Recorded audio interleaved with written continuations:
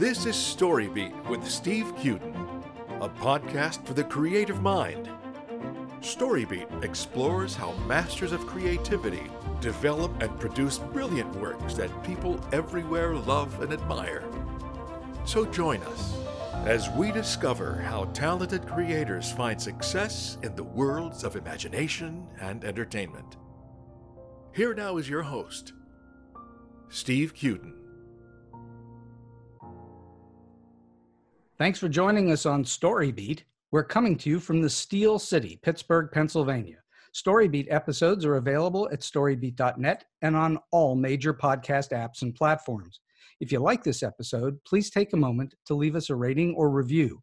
And please, won't you subscribe to Storybeat wherever you listen to podcasts? My guest today, Jamie DeRoy, is a show business tour de force. Not only is Jamie a prolific Tony Award winning producer on Broadway and beyond, she's also a cabaret, stage, film, and TV performer, a recording artist and producer, and humanitarian. Jamie started out as a singer, opening for many comics, including Norm Crosby, Robert Klein, and Joan Rivers. She morphed into a musical comedy performer and the talk show host of Cabaret Beat, and then Jamie DeRoy and Friends, which has been on the air for 30 years. She's produced 10 CDs, appeared on TV and in many films, most notably Goodfellas, Raging Bull, See No Evil, Hear No Evil, Alice, Spider Man, and Knight Rider. In 1995, she produced her first off Broadway show and has been co producing on and off Broadway ever since. Jamie's 55 plus Broadway productions have been nominated for more than 30 Tony Awards, of which she's won seven for The Ferryman, Angels in America, The Band's Visit, Once on This Island, Vanya and Sonia and Masha and Spike, A Gentleman's Guide to Love and Murder, and The Norman Conquests. Jamie's also won numerous Drama Desk, Outer Critics Circle, Broadway World Audience Choice, Drama League, MAC, Backstage Bistro, and Telly Awards. As of this recording, Jamie is currently nominated for four Tony Awards for this abbreviated 2019 2020 Broadway season for Best Musical for Tina, the Tina Turner musical, for Best Play Revival for Frankie and Johnny, and for Best Play for both The Inheritance and Slave Play. A few of Jamie's other Broadway credits include Network, that starred one of my favorite Storybeat guests, Bryan Cranston, Company, To Kill a Mockingbird, Three Tall Women, Latin History for Morons, The Play That Goes Wrong, Bright Star, American Psycho, China Doll with Al Pacino, Fiddler on the Roof, The Addams Family, Ragtime, Blithe Spirit with Angela Lansbury, Thurgood, and many more. Jamie's more than 40 off Broadway productions include The Confession of Lily Dare, Pride and Prejudice, Othello the Remix, Not That Jewish, and The Lion.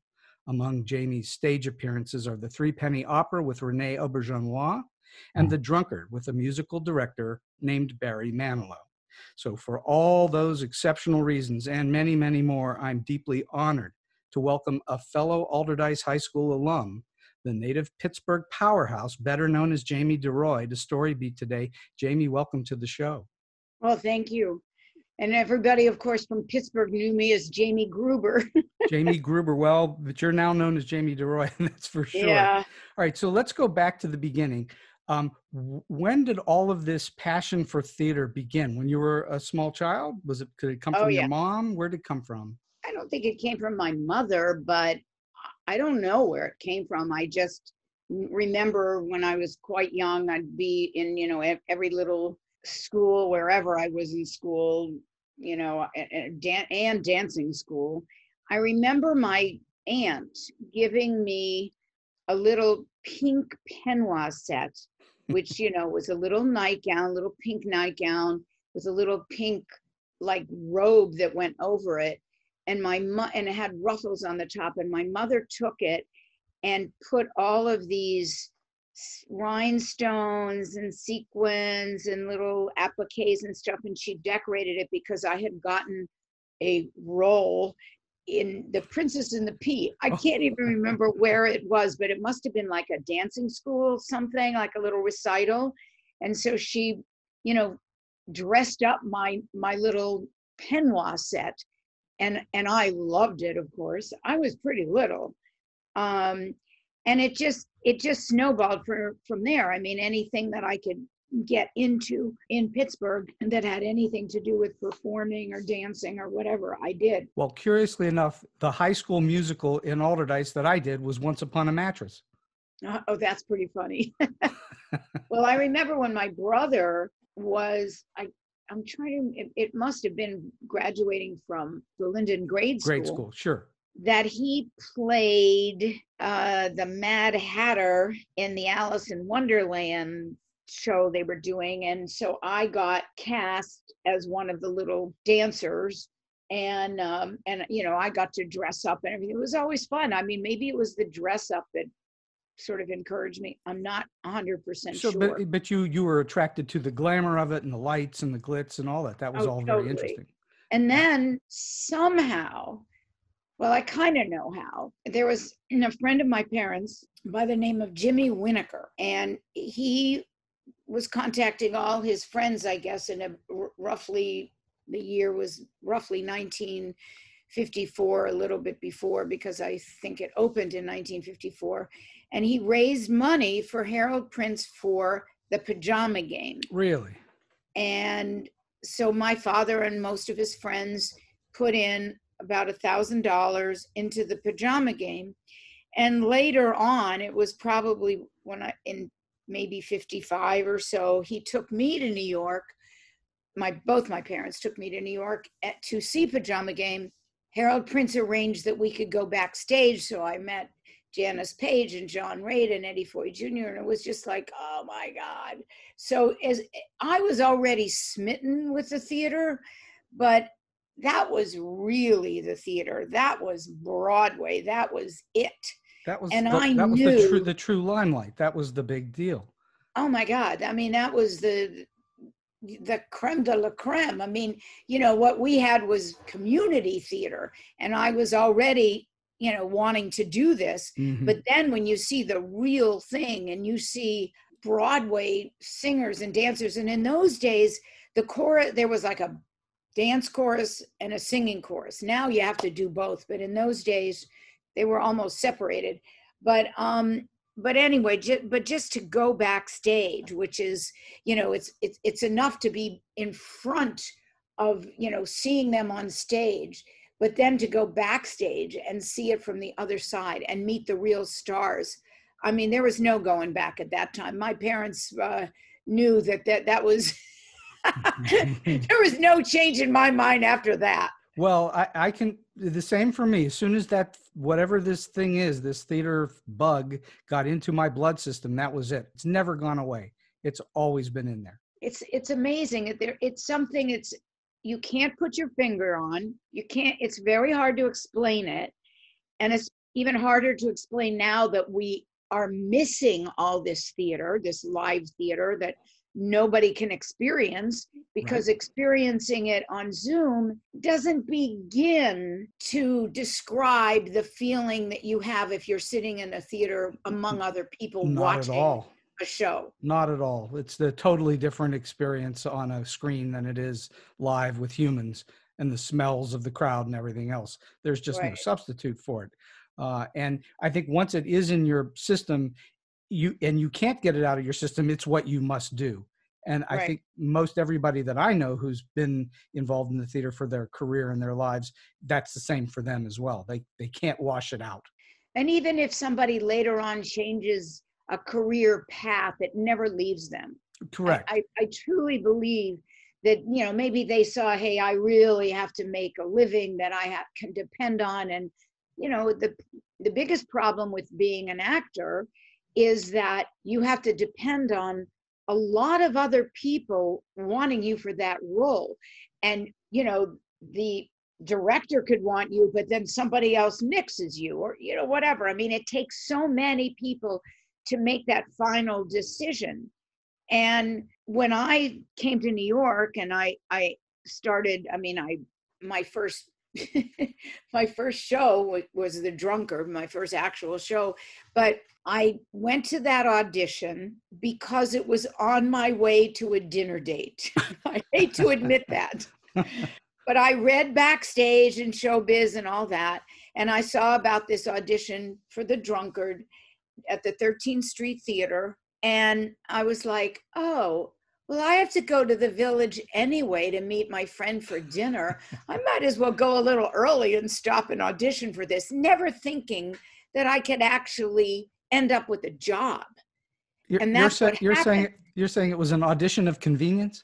Totally. I mean, I have a feeling that if that audition had been uptown, I might not have. I might not have gone. I could be very lazy in those days. So yeah, so it was on my way. It was 13th Street is at the kind of like the top of the village, and I had to go to Greenwich Village. It was really literally on the way. and I stopped in there. So no one was more surprised than myself when I got the job. and that is how I met Barry Manilow way back then because he was our musical director. He played the show off Broadway and he did all the incidental music for all, you know, for the for the show off Broadway and on the road. And um and then when I came back from the road and I went back to the off Broadway uh, production, which was only at that point I think playing on weekends. So it was it was great for me because uh, it freed me up for the rest of the time but i still got to be performing. But you know i had a relationship with barry and i when i started working with him as a as my musical director you know just working on stuff we didn't even know what we were working on specifically. We were just working on songs and just stuff. One day i walked into a rehearsal. He was living in the village at the time and uh more i think maybe east a little bit east, not was definitely not West Village. Anyway, I walk into a rehearsal and he's sitting there with Adrienne Arts, who became later Adrienne Arts Anderson. Mm-hmm. But Adrienne Arts I knew from college, from from Carnegie Tech, which is right. you know now CMU. Right. And I was like, I didn't know they knew each other, and I was like, oh my god, this is so cool. You know each other. She said, "Can we ask you a favor?" And I'm like, sure what? And she said do you mind if you start a little bit late? We would love to play you a song we just wrote. And i said okay. And they played me could it be magic? Oh. I mean i just sat there with my mouth open like oh my god this is so fantastic. Wow.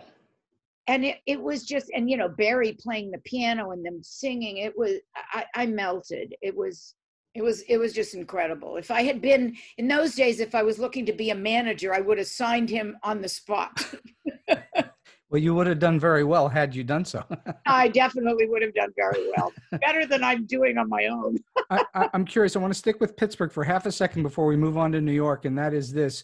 Um, your mom is a very highly regarded and very well-known artist sculptor painter photographer um, DeRoy Gruber and I'm just curious, growing up in a house that was filled with art and an artist, did living with her influence who you became? Did she give you any kind of pointers as to how to be in the arts?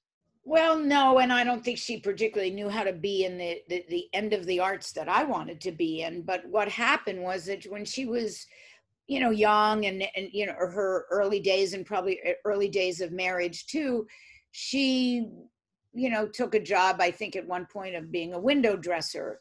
Um, and I think her mother talked her out of art school at in those early days. She went to Margaret Morrison at CMU. Right. Um, so I guess I was, I don't know, I, my younger brother was quite young. I think I was still in Lin, at Linden and she went back to art school. So her mothering was you know for me it didn't matter because i was like you know getting a little older but my brother was pretty young. But i kind of loved to watch her success. I mean she did she went the teacher was sam rosenberg and the first painting that she did was bought by a restaurant called the um not the edge we went there the edge was something else. They bought this painting and it was like the one of her earliest paintings. And she started winning awards right off the bat and everything. So it was just an, a very interesting time to watch her success. And I remember being taken out of school. I was at Linden just for the afternoon, but just to be driven to her art studio because there was a photo shoot for the Pittsburgh, one of the Pittsburgh papers doing an article on her. And it was my younger brother and myself. I don't know where my older brother was because he was probably in high school and and he went to Allderdice too.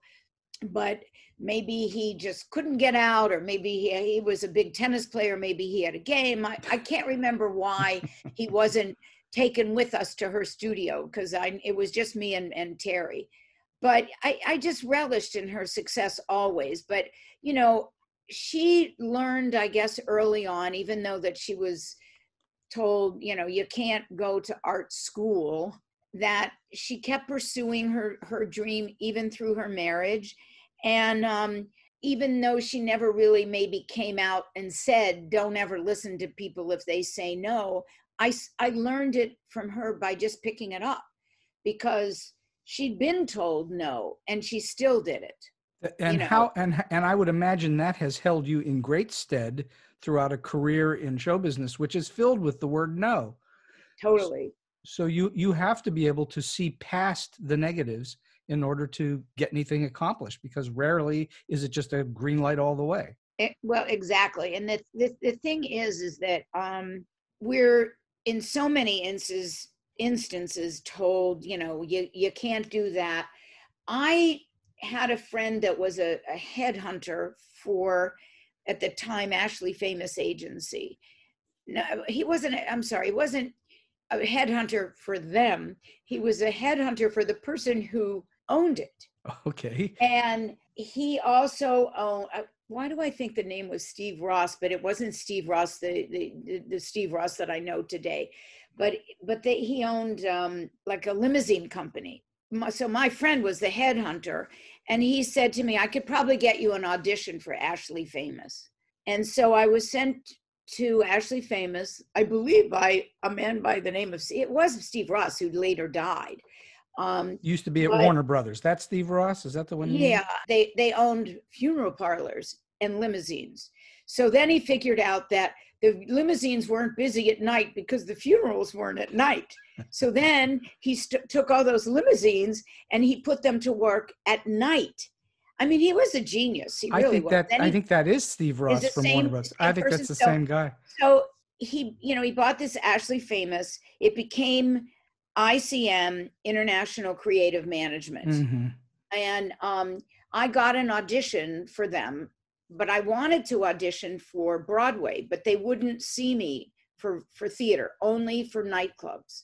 So I was pretty naive. I was like, well, I just want to audition as a singer. So what do I care where I sing? It did lead me in a direction I wasn't maybe totally meant to be in, but it was still fun.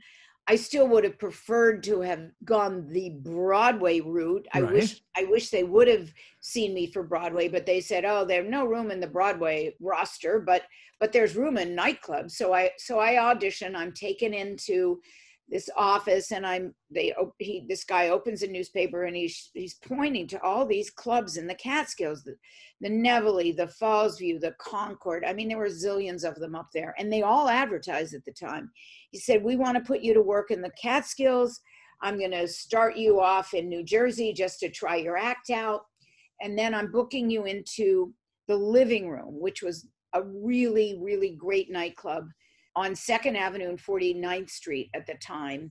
And I knew it because I went to it. Right. I would see Arthur Prysock there and, and Felicia Sanders. And you didn't even know, have to know who was playing that night. You just went. You knew you were going to see somebody great. So anyway, he said, How many charts do you have, you know, for how, how big of an orchestra? And I knew what charts were I knew I didn't have them, but I knew that I could get them. So I said, Well, how many do I need? And he said, Well, we like for eight. And then he said, We can always build on that from there. You can always add more from there. You know, it might be a trio, it might be five, it might be seven, might be eight. So I said, Okay, I left that meeting. I went home because we didn't have cell phones to call anybody immediately in those days. And I called Barry Manilow and I told him what happened. And I said, I need charts. And he said, No problem. All these songs we've been working on, we're going to put them into an act for you. And we're going to, I'm going to make arrangements and uh, we're going to get you an act. Wow. So uh, he called his friend Bill Inglis to help uh, with the you know doing the, some some of the arrangements and the copying and whatnot so that i could have charts that i could get to work as soon as possible. Wow you know uh, i imagine there are not too many people in the world who can say that their early arrangements and charts were made by barry manilow of all people. That's pretty astonishing. And it's eh, you know well i you know i look back at one of the songs that i used to do the days of the waltz which became later for me a parody uh, like my French parody, but it, it had like three verses and each one went up a half a step which is you know which which he really did so much in his career with mm-hmm. with so many of his songs. Oh he was a lot of his songs they they they modulate up that third and it always works brilliantly. So even though you were pushed down this road toward cabaret what was stopping you from going down the broadway route? What what prevented you from doing that? Well one i didn't have the agent to to get to get me in those auditions.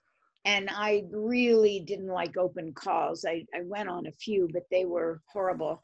I mean because you know it's what they referred to in those days as cattle calls. Mm-hmm. but also the nightclub business kept me so busy that it was almost hard to you know to branch off. You start obviously started to develop a reputation for being a cabaret performer. So you, were you working the circuit? Well it was a different circuit then. It was it wasn't there wasn't such a, we didn't think of anything as a cabaret. We thought of everything as a nightclub. Nightclub sure. And, and all the nightclubs that i played i got paid. I mean when cab when the cabaret business came into the way we know it today they started doing more of like working for the door and uh, or, or a percentage of the door even worse. But you know all these little cabarets had not started to open yet was the Holiday House, which was a Pittsburgh nightclub institution, was that around at that time? Oh, it was definitely around at that time. Did Did you work the and Holiday House? big nightclub. That was a major nightclub. Sure, it was. I never played the Holiday House, but I went to the Holiday House a lot and saw many, many acts. I'll tell you a, a quick sad story. Very weird sidebar. Um, when I was about five years old, my parents took me and my brother to see the Three Stooges at the Holiday ah! House and I got in line. Uh, they put me in a suit and tie and the whole nine yards, and they got us in line. They bought an album that they had put out, the Three Stooges, and I got the autographs of all Three Stooges on this album. And my mother later threw it away. You're kidding. uh I'm not kidding. Oh you know, my god! To, to her way of thinking, it was a big waste of time. The Three Stooges, you know. So yeah. Oh, that's that's a shame. it is a shame, but it's a true story. It was like I got to meet the Three Stooges when I was a little boy. Oh, it, at the holiday house. Anybody would have wanted to meet the Three Stooges, of, little of or grown. Of course. All right. So, how did your cabaret life, your nightclub life, how did that eventually lead you toward producing things or did it not or they disconnected or were they connected in some way i think everything you know in my life and probably most people's lives is connected and mm-hmm. you don't realize it maybe at the time but um i mean you know so i started doing all these nightclubs and working in the mountains and um, going around the country opening for comics i was not allowed to be funny oh. um I was a what in those days they called a girl singer opening for a comedian. And there were very few women comedians in those days, very very few. Would you have done comedy if they had let you? Would you have had a comedy act? Well, I I, I mean there were times that I ended up saying something funny I didn't think of myself as a comedian, right. but I get in trouble for saying something funny because somebody basically said something from the audience and I answered them and it was funny. I wasn't standing up there telling jokes. I just did a line that some, you know, that people laughed at that was a quick retort. And I got, I literally got in trouble for it so I ended up getting married and divorced, and there was in in in about like a four year time frame, I guess, at the time. And my husband at the time was very jealous, and it was just easier to not work than to work and go through his jealous rages. Interesting. So when I got divorced, I just, you know, after a while, I was like, this is like ridiculous. I, I actually had run into Barry Manilow at, well, I didn't run into him. I went to, um, I do, I guess I did run into him. I went down to buy my husband a present in a snowstorm, and it was on East, in the East 20s where Barry was living at the time. And he was right next to an antique shop. And I knew that he was next to an antique shop because of all my rehearsals with him were next to the antique shop. So I went to get uh, my husband this present that I had my eye on for him. And the shop was closed because of the snowstorm. But Barry was getting ready to do Carnegie Hall with Bette Midler. And she gave him three or four songs in the middle of the show so she could change her clothes. And he said to me, if you want to come, it's sold out, but you just go backstage. My manager will walk you in. You may have to stand if you can't find a seat. If there's a seat, take it, but you may have to stand in the back of Carnegie Hall. But at least you get to see the show. And I'm doing three songs, one of which, by the way, was Could It Be Magic, which he had premiered for me. Yes. indeed. So I was like, of course I'd like to be there. So I get, I'm so excited that I go home and the first thing I say is, oh my God, I ran into Barry Manilow and he invited me to his concert with Bette Midler and we can go. We, we might have to stand and, and all of us, it's just started the biggest fight. He accused me of having an affair with Barry. Oh, um i mean it just was ridiculous which was the beginning of i have to get you know well one of the many things that said to me i have to get out of this marriage. But at the time i was like well you know what? If you don't want to go your partner's wife was on the subway when i came home and i told her and she wants to go so you don't have to go with me i'm taking her fuck you and and so anyway, I went. Of course, it was just a magical, magical evening. I bet. I bet. Oh, oh my God!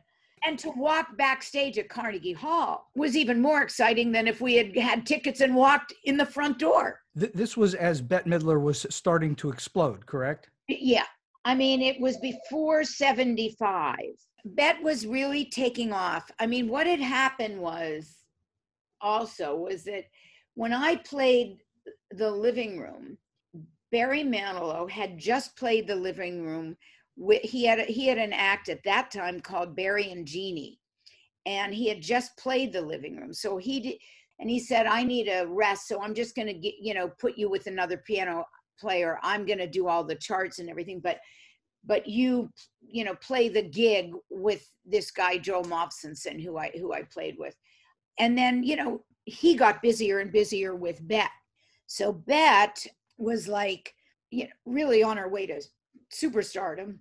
And she was just great. Now, I had gone to see Bette at a place called Hilly's way before she ever got Carnegie Hall because my agent was asked to come and see her. And he just, he didn't know, he thought she was great, but didn't know what to do with her. I thought she was amazing, but I wasn't an agent or a manager. You know what I mean? Sure. So luckily, she had a lot of very smart people, and she was very smart around her, you know, guiding her, and and and I think they did a good job. I would say they did a fairly good job. Yeah. All right. I want to turn our attention to producing, which is what your forte is. At least it has been for quite some time. Um, people generally, I think, don't think of producers as being creative types. They think of them as being more money and technical and so on. But being a producer is a very creative enterprise, is it not? Well, it it is, but to to be honest, most of the kind of stuff that I get involved with or I'm asked to be involved with, that other people are handling more of the creative than I am because Okay. I I came on board. I mean, the first thing I did produce was the complete works of William Shakespeare abridged. You know, my producing partner Jeffrey Richards, who I met when I moved into uh, my th- this new apartment, which is not so new anymore but he invited me to see this one night show at Alice Tully Hall, complete works of William Shakespeare Bridge, from London, and it was by the Reduced Shakespeare Company. So I went, I loved it. The next day, I got a call. How'd you like it? I thought, you know, he just sent me because he knew I had a good sense of humor and I was a good laugher.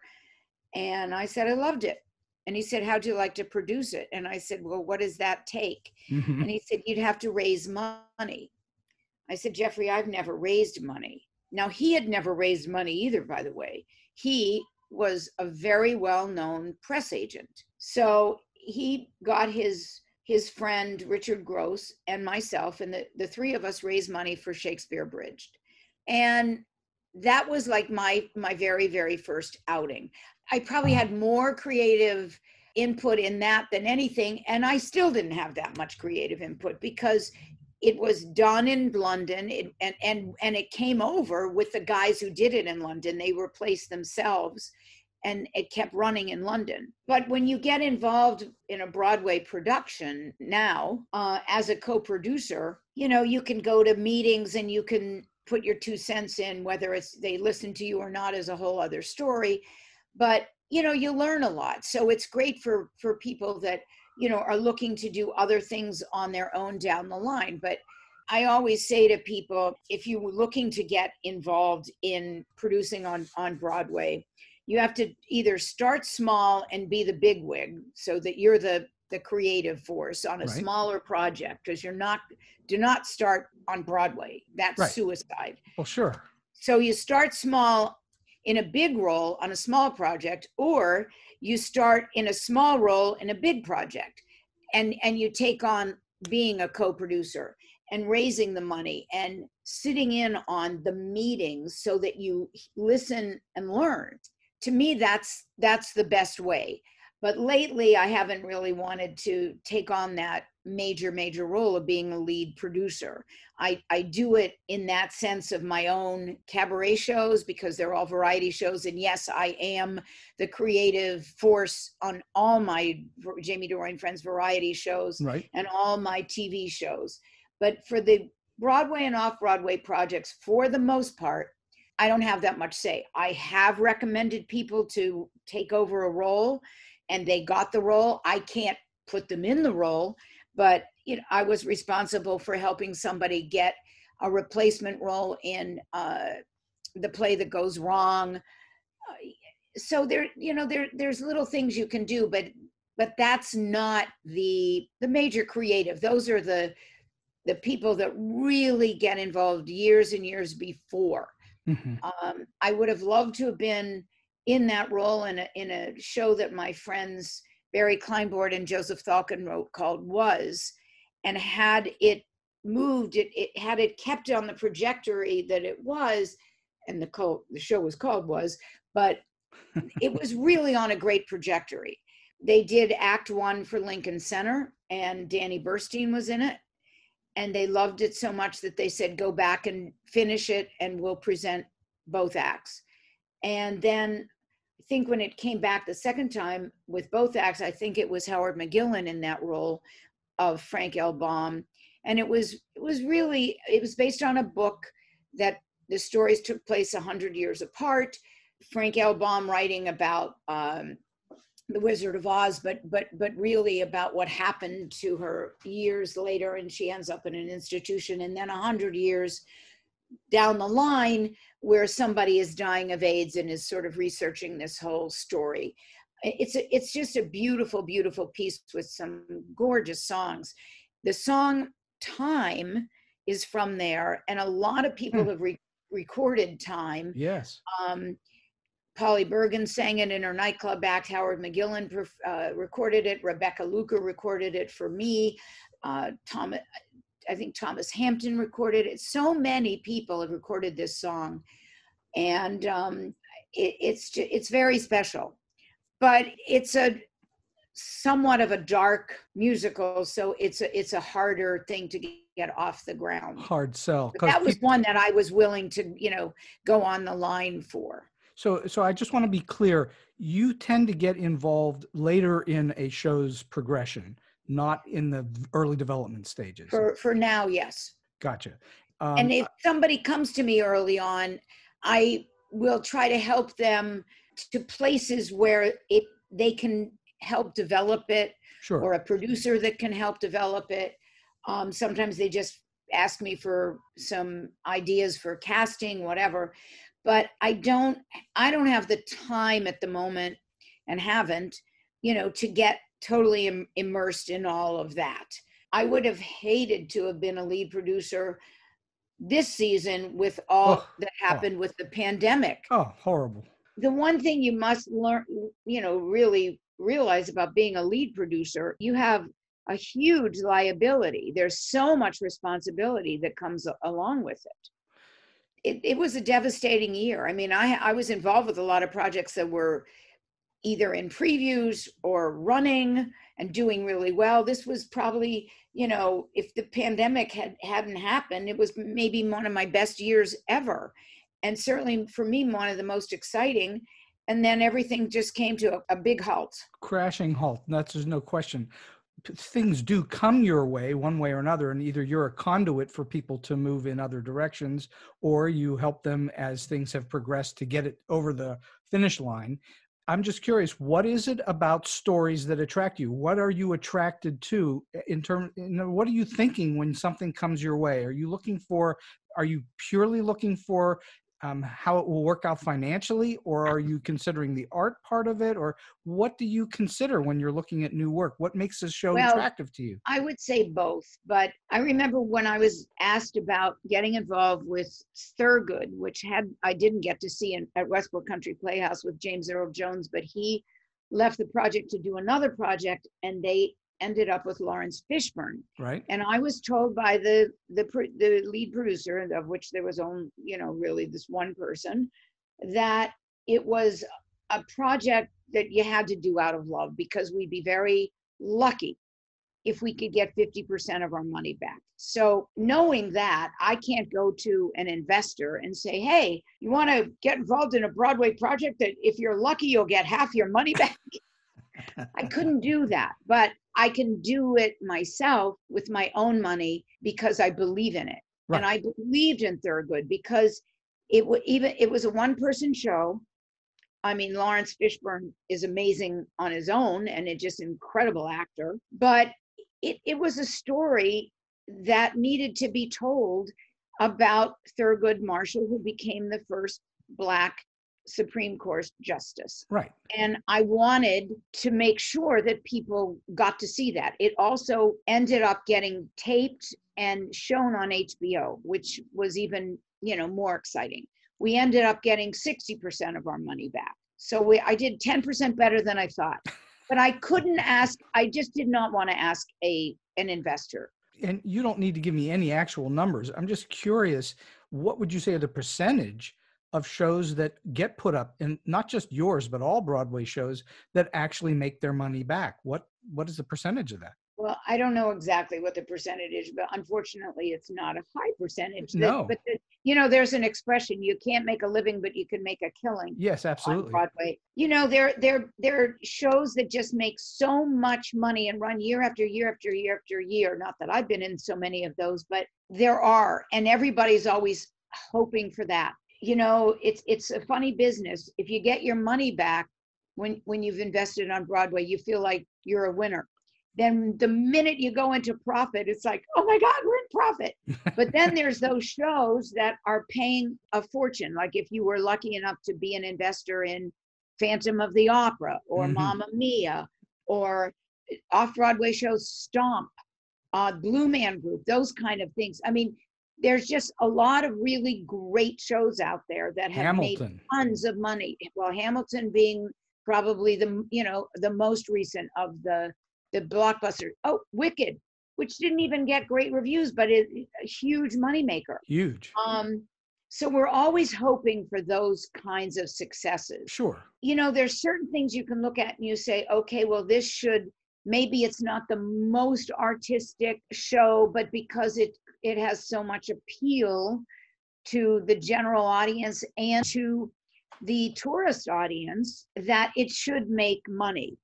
I had a couple of those going, you know, this year, which were like Tina Turner, the uh, Tina, the Tina Turner musical, and Ain't Too Proud, which was the story of the Temptations. I mean, these were real crowd pleasers. And company was in uh, previews which didn't even get to open before the pandemic and that's a crowd pleaser. Now there are other shows that are that i get involved with. I got involved with slave play and hangman and the inheritance all great plays. Did any of them have a shot at all, making a ton of money? Maybe in you know if they could get licensed all over the country Sure. yes. Right. but on broadway probably not they're not really going to Um, be and, and- touring and, the shows. inheritance was you know a it, it was two parts and it was uh very long each part was very long so that was a deterrent and yet it was the most moving play i, I i've probably ever seen and particularly part Really? one Most plays do not wind up in a bus and truck situation. It's a secondary licensing situation that makes them money. Exactly in the old days stars would play on broadway and then they would tour the play on the road but they don't do that anymore Right. It's all musicals that's on the road, right? right Yeah. Right, for the most part. I mean, Vanya and Sonia and Masha and Spike that won the uh, Tony Award uh, the year that that it was on, uh, that had a, a zillion licenses from you know to just do it wherever, and you know a show which was not a, a, a Broadway show, but it was an off Broadway show, which I wasn't involved with, but I saw it early on, and I saw it with Peter Riegert and with Bruce McGill, and we sat there and thinking, well, this would be a great thing to produce. But none of us were producers at the time, you know, because it was like four guys, didn't have to be a star. You just learned the songs and the harmony, and anybody could do it. And luckily, they got a great producer to to do it, and it got licensed everywhere, and it was a huge money maker All right. So what what then? And this is a kind of a an open-ended and hard question to answer most for most people. What is it about material that makes something good? What makes a good story good for you? What do you see sometimes and you go, I have to get involved in this? How does that work? Well, everything is different because I can't, there's no there's no one show. I mean, Coram Boy was quite serious. It had come from London. Um, I knew about it. They sang at the at the end of it. They had a 30 piece choir that sang the Alleluia chorus, and it was so moving. But it was a tough story. Um, the Inheritance was an epic and and very very moving. So it, it has to hit you in the gut, doesn't it? It's got to be a, something that just really, really speaks to Yeah. you some way. I mean, Slave play was.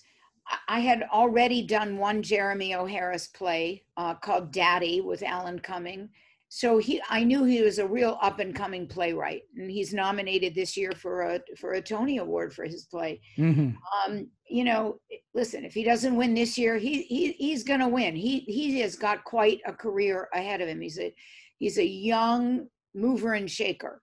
The day I met him at the meet and greet for Daddy, he he was larger than life, dressed in in a crazy Gucci outfit that had been given to him by Gucci.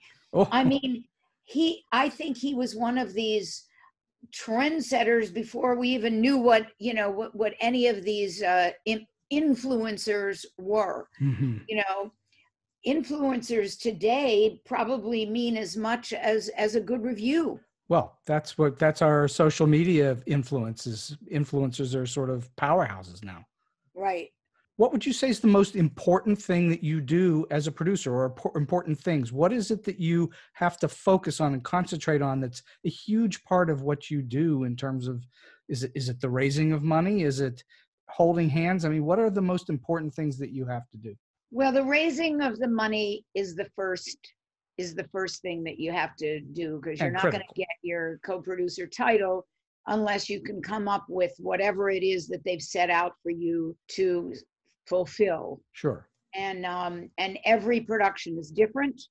There's not you can't just say oh it takes this much money because every you know a play will have one thing, a musical will have another thing. The next season a play could have less, have more, musical less, more. I mean, some producers don't want any co-producers. There, you know, there's some producers that don't want to give out co-producer credits. The thing with co-producer credits is it's almost like a little pyramid scheme because those co-producers are getting all their friends to go see the productions because they're, you know, they have a vested interest in it and they they have a love of it that nobody else can relay but them and it really does help sales. But you know look hamilton had three main producers. They didn't have any co-producers. They didn't need that. Right. There's some plays that need it and some that that don't.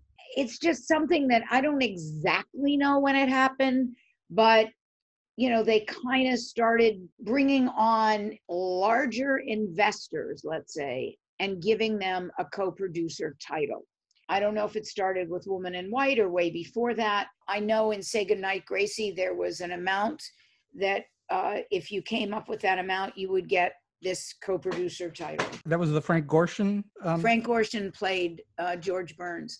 Now I went to see that very early on, and my friend Rupert Holmes, who usually writes musicals and writes great songs. Yes. Um, in addition to musicals, he wrote the play, and I said to him, "God, I wish I could have I could be a producer on this. He goes, I didn't ask you there for that reason. I never would do that to a friend.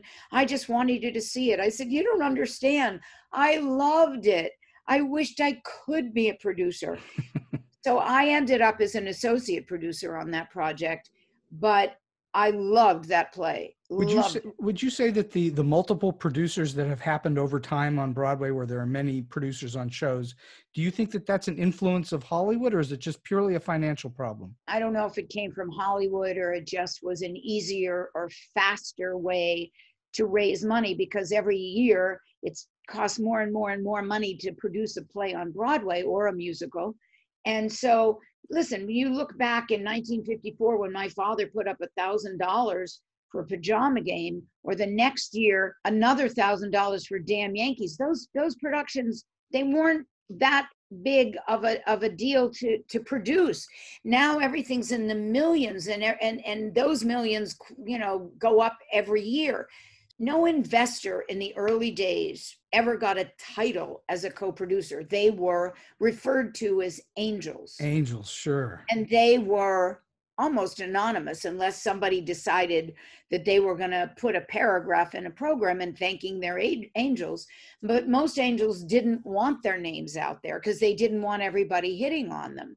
I will tell you this once your name is above the title or even below the title you know whether it's a co-producer or associate producer your name's in a in a playbill you can bet that the next person to come along is going to be sending you an invitation to come to a reading or an opportunity to invest. How many of those do you get a year? How many, many invitations? many many many. Many many many. How many plays and and librettos do you read a year? I prefer to see a reading if i can. Mm-hmm. The one play that I couldn't see a reading of, and I had to read it, was uh, Stephen Alvey uh, uh, The Motherfucker with the Hat. Right. I read that and laughed out loud. I mean, it it was hysterical. But in many cases, when you read a play, it doesn't necessarily translate to when you're reading it until you can see it. I remember reading an A.R. Gurney play called Indian Blood, which I was asked to get involved with at primary stages. And I read it and I was like, I don't know what to make of it. And I asked my director friend, Barry Kleinbort. He was kind of familiar with it, I think, because a mutual friend of ours was in it. You know, he was sort of leaning me towards doing it. I spoke to Casey Childs, who ran the theater, and said, you know, what should I do? Because I, you know, I'm not getting it when I read it. And he sort of encouraged me to do it. I, have done a bunch of Gurney plays with primary stages, and I've never been disappointed. Mm-hmm. So just because it was Pete Gurney, I thought, you know what, I'm going to do this anyway. It was Pete Gurney, it was primary stages, it had a really good cast. I went to the in, invited dress, which is the night before first preview, when they allow usually in, especially in an off-Broadway situation, a handful of people into the house, not not like a Broadway invited dress where it's almost full. Um, anyway, I went and I it was hysterical, and they didn't even use props. Everything was pantomime. Huh. It was totally hysterical, and I sat there and went. I made the right decision. Now I went to the invited dress of Coram Boy, which was a serious play I sat there in tears. I brought a few friends with me to the dress rehearsal, and I turned to them and I said, I think this possibly could be the most important piece of theater that I may ever be involved with. Wow. And it, it was so, it, it, it spoke to me so much and affected me so much. Then the reviews came out, you would have thought that we committed crimes against humanity. and and and the inheritance you know in the in the most in the recent things of things that i think that were you know major uh, important things to be presented were like Coram Boy, Thurgood, and the most recent one, The Inheritance. I was sitting there at the end of Act One, unaware that men were walking down the aisle and onto the stage. But something came over me, and people that I had lost to AIDS came, you know, to, right in. I mean, I, I almost saw them. It was wow. so I don't even know how to describe it. It, it was so like moving. And then I started realizing there were men, not, it wasn't a figment of my imagination, but my imagination was I put faces to those men. And people like Clovis Ruffin or Bob Harrington or the zillions of people that I lost over those years to to this horrendous disease. And I was just crying uncontrollably. I was with a, a, a, girlfriend. I had Kleenex in my purse. I knew if I was crying that any minute she'd be going. And I reached into my purse and handed her Kleenex because I knew she was going to need it. Mm-hmm. And that production wrapped up, was supposed to wrap up on the Sunday after the pandemic started. It was it was scheduled to close that day and of course it closed the thursday before right um, but I mean, every major, I mean, Hillary Clinton came, Pete Buttigieg judge came when he was running, and uh, it was it was such a moving, moving uh, production that I will never regret being involved with it because it was so great. Well, that's that's probably the single thing that makes it so very worthwhile for you to to do to do what you do as a producer, so that you can come out with works that do move people in that way. I exactly. Assume. I'm just curious about casting. Clearly, um, shows don't work without great casting, one way or another. How important is great casting versus star casting? Is it critical in some way? Wow, it's it's almost like it brings a different kind of an audience sometimes because star casting is you know they're coming to see the star mm-hmm. and not necessarily the play right but but that can be a good thing too. When P Diddy was was in um, a play uh, on Broadway, A Raisin uh, in the Sun, Raisin in the Sun, which you know takes me back to my youth. It brought a whole new audience into the theater, so that is a good thing. And so, so sometimes star casting, you know, what it it, it brings in an audience. And then if they leave it, it's sometimes harder to replace them because people are used to the star. Right sure. Um, in the old days broadway made the stars. We didn't put stars in a role. Sure. you know Janis Paige wasn't a star when she went into Pajama Game. It made her a star. E- Ethel Melba Merman. Moore wasn't a star in Purlie. It made right. her a star. Right well, Mary Martin, uh, Ethel Merman, those folks, they weren't stars before they were stars on Broadway. Right. I mean, that, I asked my dad, why did you invite, invest in Pajama Game? Did you did you read a script or hear the music? No, but the star for us was George Abbott, who was the director. Sure. He had a great reputation. Exactly. Well, that's uh, you know, there's something to be said for great directors too. Uh, it's pretty mm-hmm. good to have great directors, you know. Uh, all, and all the those... great director did you know was responsible for bringing in all the right people casting all the right people and you know and and, and made it so special well I've, I've long said that when a show works extremely well it's hard to tell which individual element is the thing that makes it work but when a show works poorly you can sometimes point to exact things that don't work you can exactly. say oh, the, the direction's terrible the acting is terrible or something like that but when a show really works it's hard to see what makes it work because exactly. it's just it's just working. Um, well, couple- I had a kind of day job once where I worked for a, a, a press agent and we worked for, well, I first worked for a producer and then the press agent, but I think we started with the producer and sending out a sign in Sidney Brustein's window, which was the follow up to A Raisin in the Sun, Lorraine Hansberry's second play. And that went on the road. We were sending it on the road. Um, and it wasn't, you know, really done um, on Broadway. Uh, I don't know if it was ever done on Broadway. I'm just trying to even remember. I don't know. Uh, but because they wrote, uh, you know, sort of a follow up, except it was a, a, a new playwright and everything else. Um, I look at play. I, I don't. There's very few things that I've done in my. I think I've done over 60 Broadway shows that that I'm not not proud of as a play. Sure. But even if it was, maybe the play wasn't the greatest play. You know, a performance was great, or the actor was terrific, uh, and it was a special thing to just be able to somehow ride your coattails on a star's, you know, coattails. You know.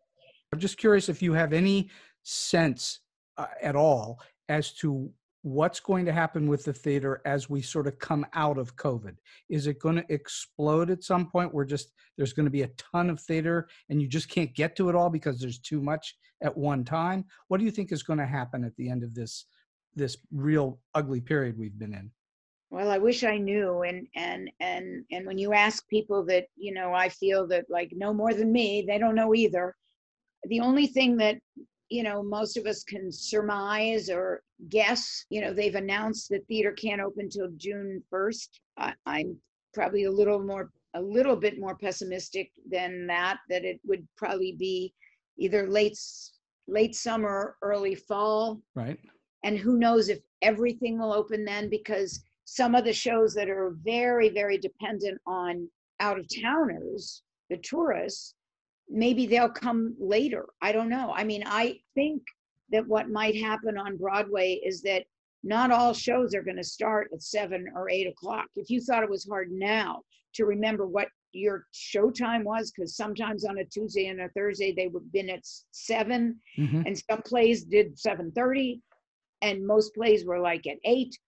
And you you you really had to if you didn't have your ticket in hand, you had to make a phone call or look something up because you could miss at you know the first act or the first half hour. So now they may stagger the starting times you know on 45th street there's like three theaters right next to each other.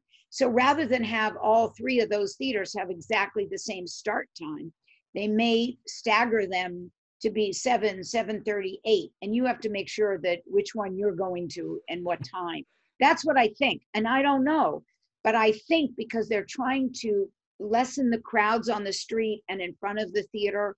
Listen, who knows how long it's going to be that when you go to the theater that you might still have to wear a mask right. or that you have to have your temperature taken. And that's going to be a, it, a problem if you have a group of four or six and one of the people in the party suddenly has a temperature and they're not allowed in.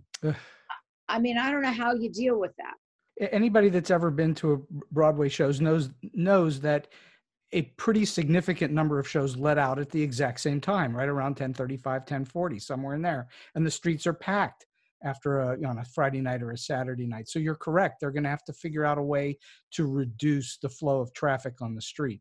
Um, or they so run the risk of you know probably you know look at theaters of what time they should start probably you know maybe the shorter ones would start a little later so that it allows for the the three hour plays to start earlier and get i don't know. Yeah. however they're going to work it out it's it's going to be something. Um, huh.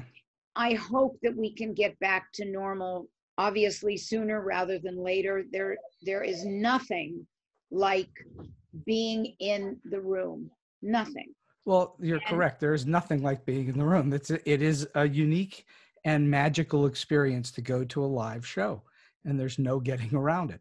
Um, last couple questions for you, Jamie. Do you have um, any particular story or more than one? You can one would be great that you can think of in your whole career that was either weird, strange, quirky, offbeat, or just plain funny. Some kind of a story like that you can share. Well, other than the ones I've already shared with you. Yes. Um, and this has nothing to do with producing or anything, but had I ever had anything worthy of getting on the Tonight Show for, I was told that this was my Johnny Carson story.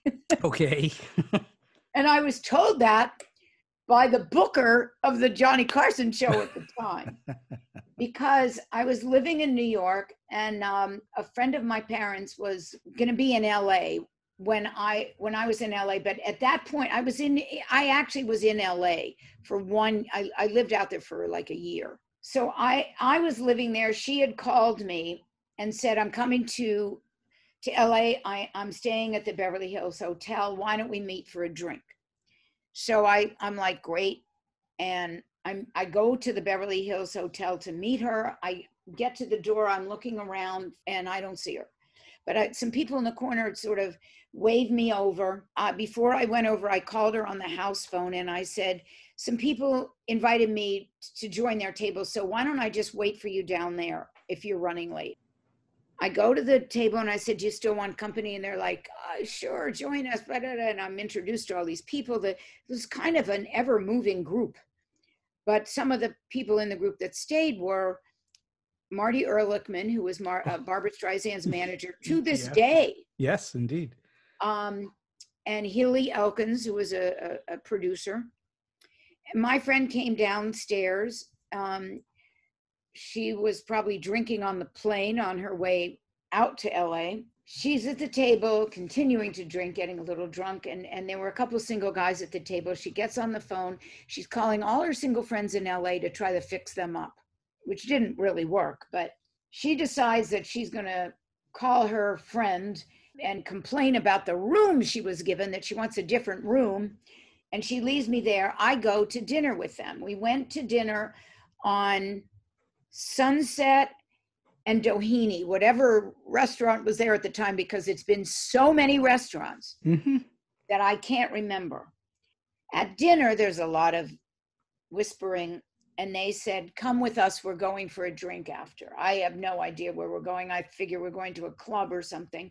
So we go to a home that had a guard with a gun and an iron gate and a lot of cars in the driveway, which was a big driveway. So it could have been, it could have been like a, a some sort of weird private club in the hills of Beverly Hills. I don't, I didn't know LA that well. They ring the bell and Sammy Davis Jr. answers the oh. bell. And I'm like, oh my God. So at this point, he says, come on, come downstairs because I'm going to be on the Tonight Show. And this was when, you know, Johnny Carson was still the Tonight Show. right. We go downstairs with, with his wife, Altovise, and we watch him on the Tonight Show. There weren't a lot of us at this point, but it was still Hilly Elkins and, and, and Marty Erlichman and a, and a few other people. And we watch him on the Tonight Show. We go upstairs after the show and we drink at his bar. So now we, I mean, I don't know what time we left there. It was, you know, relatively late, but my, my car was still at the Beverly Hills Hotel because I hadn't driven it to the restaurant. And from the restaurant, we went straight to that to his house. So I had to go back to get my car. So this guy says, "I'm gonna I'll- I'm gonna take you back." As I'm getting out of the car in the driveway at the Beverly Hills Hotel, I said to him, "I cannot thank you enough for this evening." I started off with nothing to do and I end up at Sammy Davis Jr.'s house. I am, it was the, one of the best nights of my life. Thank you, thank you, thank you. He goes, Well, we loved you. Sammy loved you, but I gotta tell you, when we motioned like this, we weren't motioning to you, we were motioning to the maitre d'. Oh. I literally fell out of the car onto the driveway of the hotel. I was like, holy moly. I and I ended up still, I ended up at Sammy Davis Jr.'s and they're still saying, Who is this girl and why is she at our table? so you had a whole night. Once again, you were an accidental tourist in the whole thing. I totally was. That was great. my tonight story, if I ever got it, tonight show story. Last question. Oh, that was great. Last question, Jamie. Do you have a solid piece of advice or a tip that you can lend to those who are starting out and maybe trying to find their way into the industry, or maybe they're in a little bit and are hoping to get to that next level? Well, I think in every level of the industry, there's different things that you need to to do. You know, if you're an actor, you got to act, and if you can't get in a Broadway show right away, you get into a something. You you you you you get into a reading. You get into uh, an off Broadway or even an off off Broadway or a touring something or community. You just have to do and and and Hal Prince had said to me when I came to him for advice before I ever moved to New York, not that I took it, but he said, you know, be a big fish in a little pond. Mm-hmm. Make a reputation for yourself so that, you know, that you're already making waves so that people want to hire you. I just was living in Pittsburgh in my parents' home in college. I wanted to get out of the house. So I came to New York maybe a little bit too soon, who knows. But um you just have to do. I mean, you're you and and I remember when I was asked to open for Joan Rivers, which was already I'm in the nightclub business. Right. And the pay was very very little. And I had to share it with my piano player. Um but I said to I had a friend that was at APA at the time, Marty Klein, and I told him I was offered this job at the LA Improv opening for Joan Rivers. And and when I got out to LA, there the the actors went on strike, so I couldn't get any auditions for what I intended to go out there for, which was to be a second banana on some TV show. It, it couldn't happen. It, there was a big strike, and then uh, the you know another strike and a threat of a third strike.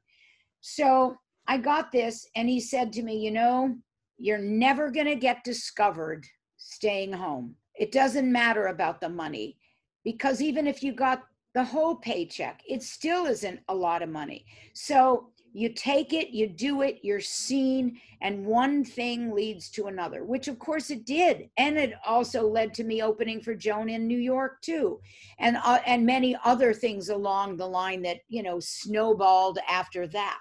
Um I mean even even my producing was probably helped along the way because I joined an organization called Manhattan Association of Cabarets and started doing things for them. And then, and I gave birthday parties and had uh, some of my friends entertain, and, and and that snowballed into.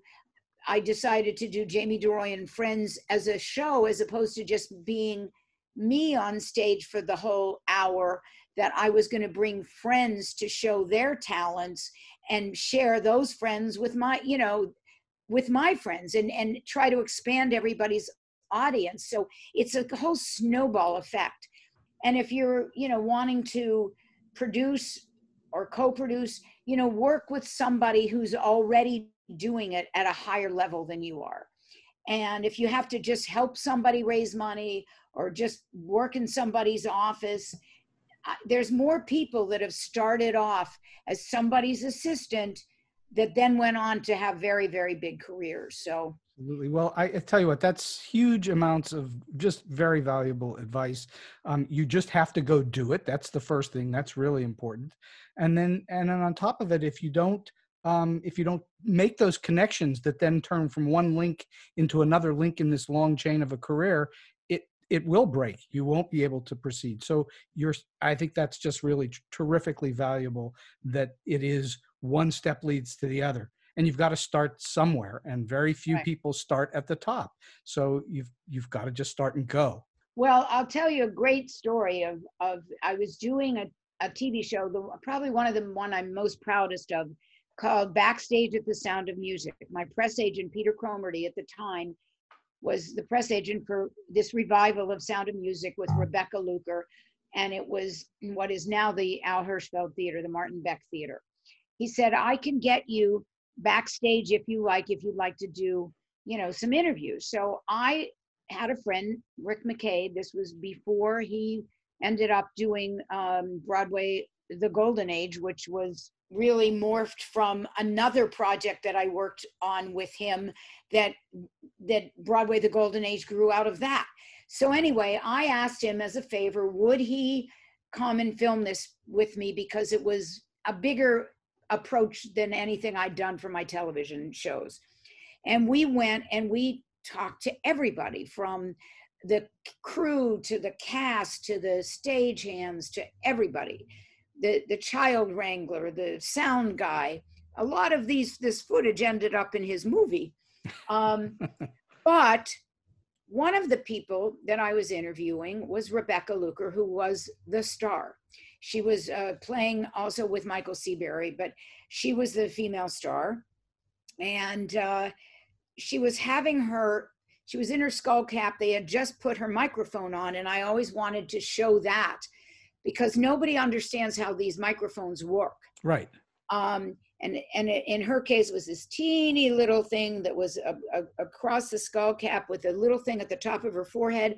And then on top of that the wig went on so as she's telling me all this and we're filming this incredible thing with the microphone i said to her uh, what are you going to be doing next and she said just a little r&r and I I knew that she was going to be leaving because they were bringing Richard Chamberlain into the show, mm-hmm. and most producers don't want to pay two big star salaries. So I'm sure that they didn't renew her contract just because they didn't want to, you know, pay another big salary that they could get someone for less. So I said, "Well, who is taking over for you?" And she said, "My understudy." And I said, "Wow, that doesn't happen too often. Who's your, you know, um, who's your understudy and uh, she said well she's you know playing a party guest in one of the nuns so we i wished her all the best. I turned we come out of there. I said to rick we're going to go find this understudy. And it was laura benanti. Wow. And she was that so she was in the chorus. She left school to be in the chorus of this show and her her career from taking that leading role replacing it just skyrocketed from there. That's and that is that's truly Broadway or Hollywood, whatever you want to call it, show business. That's the way it sometimes really works, where somebody gets a huge break by being in the right place at the right time. Well, Shirley MacLaine, it happened to Shirley MacLaine, where sure. she was ready to hand in her notice, and uh, they they she was ready to hand it to him. They said, "You're on." She didn't even have shoes; they had to spray paint her shoes. Carol Haney had, had hurt her ankle or something. It was like, so yeah, so it does happen and then she went straight out to hollywood right after that one performance well uh, you know what's that old saw that luck uh, favors the prepared mind so that exactly. if you're if you're ready to go at that moment that's really a, a big deal so you have to always be ready to go uh, you know just fantastic advice jamie this has been a spectacular hour plus i can't thank you enough for joining me on storybeat today to share all this these great stories and all this marvelous wisdom. I'm just been truly grateful to you for being with me today. Well, thank you. It's been fun to talk to you. I hope if if and when I get back to Pittsburgh, I get to actually see you in person. oh, I would love to to absolutely meet you in person. That would be fantastic. Let's do that. Let's just set that up and make that happen. Try to go to the old haunts, most of which are gone. yeah, I know. So you can ride by and wave. But do you know that I wanted to bring Klondikes to New York? I actually brought a pack of crispy Klondikes and plain Klondikes in dry ice to New York, called up this guy who had brought Sedutto ice cream to New York. He put it into the bitter end uh, cafe. and I called, I called him up. I said, Billy, I was like having drugs in my, I got I got the Klondikes. and he came over and he tasted them. He said, This is amazing. And then I called Bill Isaly the next day and said, I have a partner. We want to bring Klondikes to New York because they're my favorite snack. And he goes, well, you know, we've been thinking of doing this ourselves, so I I, I can't let you have the uh, the franchise. And I was like, no. well, they eventually went worldwide. You can. Now they have all kinds of flavors. There we had two. Yeah, you had the crispy and the plain. That was it. Exactly. Right? Yeah, sure. and chip chop ham. That was the other thing. Isaly's oh, chip the chop barbecue ham. ham. It was this, and I hate ham, but I liked that. I have not, don't explain it because I can't, but I love chipped ham with the barbecue sauce. And if you try to serve me ham today, I'll, I, I, I can't eat it. Jamie, thank you so much for being on the show. Thank you. And so we've come to the end of today's Story Beat. If you like this podcast, please take a moment to give us a rating or review on whatever app or platform you're listening to. Your support helps us bring more great Story Beat episodes to you. Until next time, I'm Steve Cuden, and may all your stories be unforgettable.